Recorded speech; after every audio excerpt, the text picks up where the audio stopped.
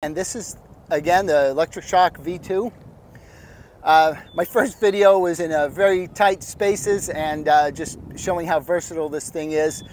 I want to uh, fly a little bit in more open space today and um, it's actually in a pretty fair amount of wind today as well, just to uh, give you a little idea of how versatile and how much fun this thing is to fly.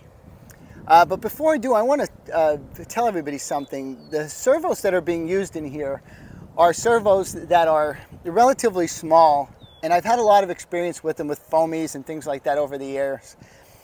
And just about every servo of this size I've ever tried, they're terrible. They don't want to serve, they don't have the power, the gears break. Um, these things are amazing. They center like a much larger servo.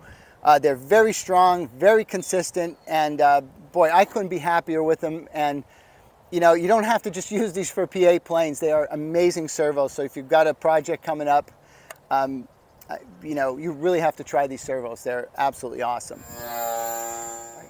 A couple of things I really like about this shock is uh, the way it does tumble.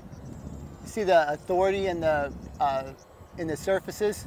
Definitely not like a foamy. Watch this. Watch it wrap up. This is something that, you know, just foamies don't do well because they really don't have that much uh, mass or momentum. So, you know, this quick tumbling, uh, things of that nature, I think it looks fantastic. And I think it's a lot of fun to do that stuff. Um, it'll do other things that the foamies generally don't like to do, especially the profile ones, which are, you know, these quick maneuvers. Um, uh, the, the ailerons are obviously really fast.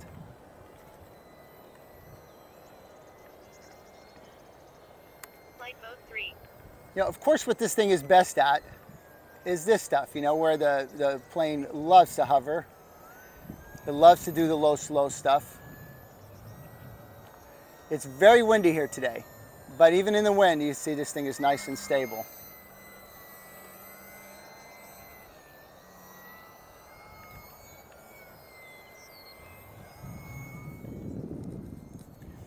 But the beauty of uh, uh, the, the, balsa as opposed to a, uh, a profile foamy is the absolutely immediate response of the controls. Watch this. I mean, that's something a foamy just can't do. Um, the, the foamies are very sloppy. I, I, mean, even the Wargo Yak and other planes like that that I've, you know, in, endorsed and are, you know, my designs, this one is just more solid. You know, uh, rolling Harriers are always very sloppy um, with the tail section.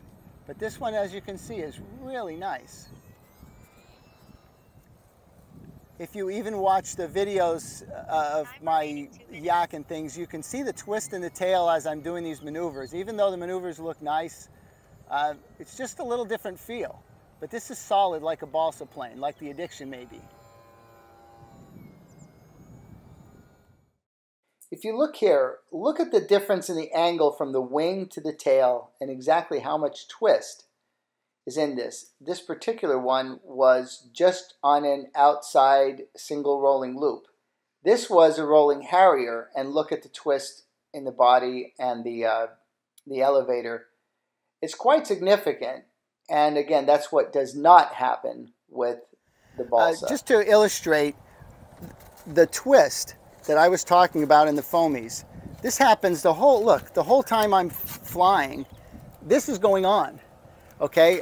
Um, you know, you've seen this plane fly and it flies so well, um, but it doesn't mean this stuff isn't going on constantly. I mean, this is literally that flexible in flight as it's going. When the plane turns right, the plane is flexing this way.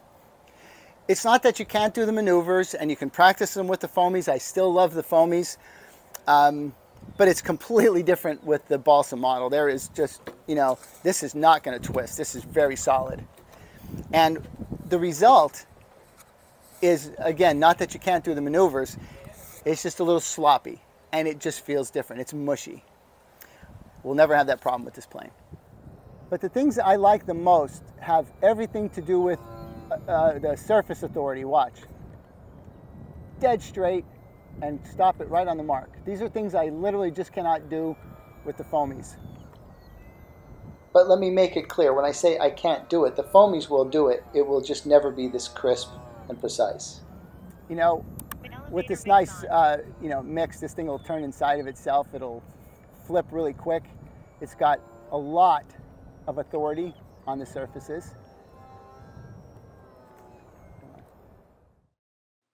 Again, just watch this controlled spin. Just beautiful. And all of that is associated with the control involved in balsa. So what I'm trying to uh, say to everyone is, if you can get yourself uh, out of that uh, fear factor of anything being balsa because it's breakable, the trade-off is tremendous. And this is also very light. You know, I've hit the ground with this thing probably 15 times so far, and I haven't even come close to having a problem but the wing, everything is very, very consistent. You saw in some of the other videos, it's a little too windy now to do it, but this, this nice uh, flat spin where the plane was just rising and going up, again, that's all wind uh, oriented, but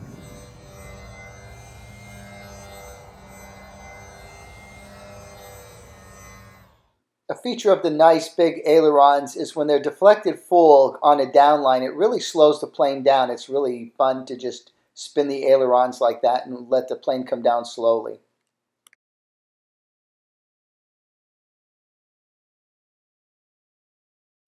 Again, these ailerons are very fast.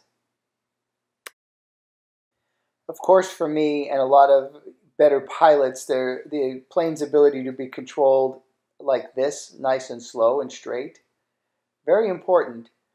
Uh, for me, it's absolutely critical that a plane does the low, slow stuff and also can fly very straight lines.